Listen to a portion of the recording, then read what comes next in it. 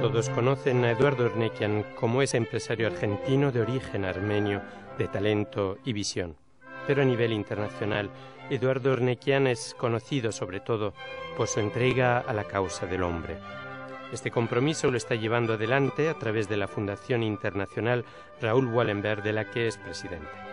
La Fundación promueve los valores educativos fundamentales para sentar las bases de una civilización de paz y de respeto de la dignidad de cada persona humana.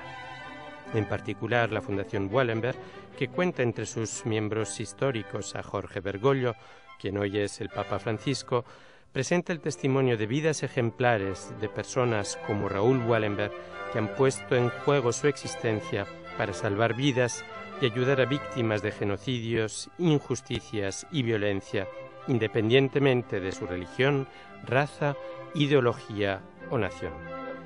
Eduardo Ornequia nos ha explicado con estas palabras el motivo de su compromiso con esta causa.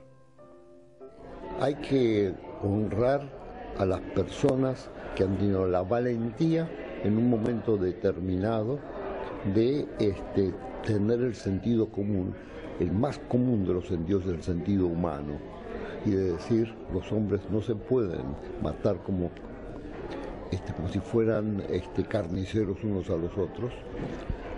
Tiene que haber un respeto, tiene que haber un mundo mejor. Y de alguna manera lo han recibido.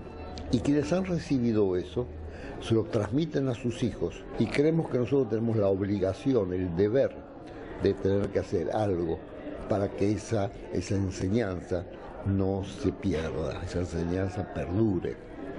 Ese creo que es la razón, por lo menos en mi caso, en decir, señores, la circunstancia me ha hecho que yo reciba un mensaje, que reciba una vela, que me den una antorcha y que no la deje caer, que la lleve.